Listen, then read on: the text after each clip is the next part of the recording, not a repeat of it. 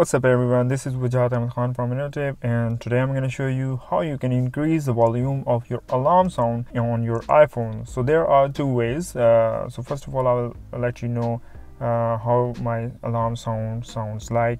So when I tap on the sounds uh, you will hear. So as you can see that my sound volume is pretty low so I want to increase it increase the volume so how you can do that? So uh, what you have to do is go to the main menu or you can also set it there. Uh, you have volume up and down key on your uh, left side of your iPhone. So if you tap on the volume up key it will increase the volume of your alarm as well as your ringer.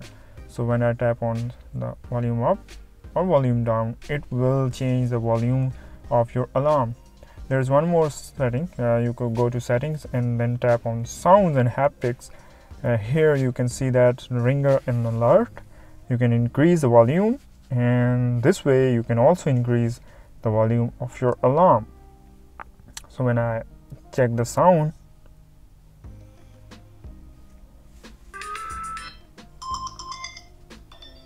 voila.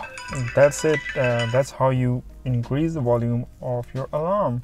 Thank you guys for watching. If you have any question please feel free to ask and don't forget to subscribe